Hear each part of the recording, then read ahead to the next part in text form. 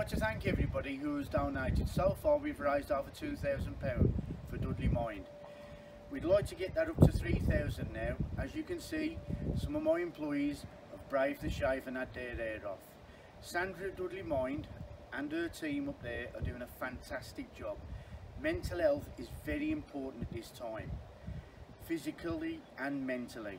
So please just come onto our Just Giving page at JJX Logistics or go to dudleymind.org.uk and donate. Thank you very much.